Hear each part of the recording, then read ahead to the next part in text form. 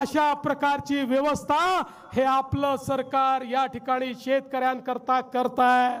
आणि एवढंच नाही आता उपसा सिंचन योजना ही सोलरवर टाकायचा निर्णय आम्ही घेतलेला आहे. त्यामुळे उपसा सिंचनवाल्यांना आता मोर्चा काढावा लागणार नाही की आमचे विजेचे दर तुम्ही कमी करा.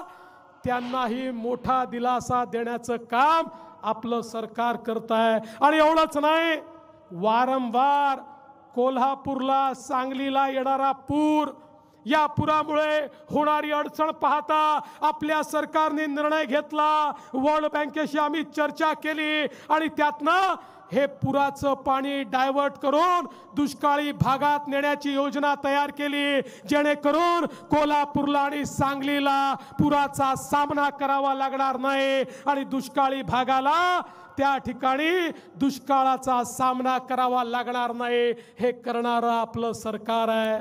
आणि म्हणून दीन दलित गोर गरीब आदिवासी शेतकरी शेतमजूर अल्पसंख्याक महिला प्रत्येकाच्या जीवनामध्ये परिवर्तन करणारं सरकार हे आपण चालवतो.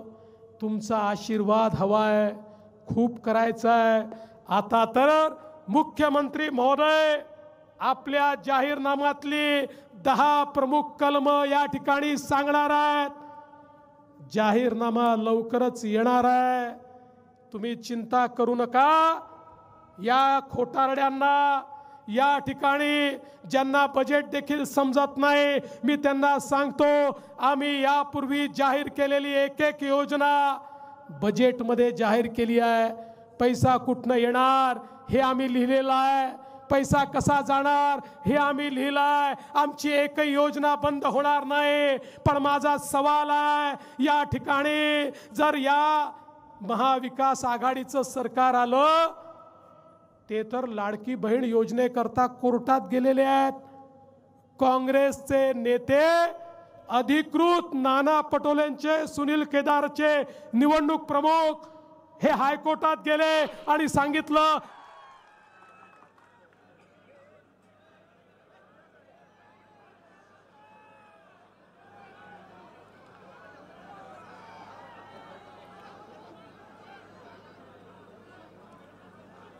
दोन हजार एकोणीसला मी इथे आलो होतो. राजूच्या सभेसाठी.